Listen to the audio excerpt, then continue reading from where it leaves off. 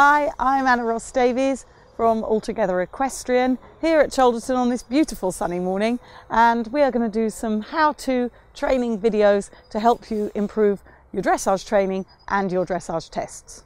So we're going to show you um, how to do a correct give and retake which can sometimes be a little bit misunderstood. Again we're working with a novice horse here um, as this movement is in some of the novice and elementary dressage tests. So with the give and retake, this is a release of the rein. It should be over three strides.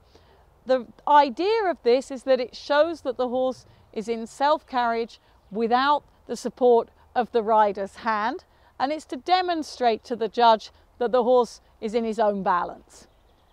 When you perform the give and retake of the reins, the rider's hand should go forward to the bit and there should be a clear release of the contact. Sometimes you see riders putting their hands up but keeping contact that is not a give and retake. Give and retake is where the rider completely loses connection with the horse's mouth over three strides. So the hands go forward on the first stride, hold the release for the second stride and slowly come back over the third stride.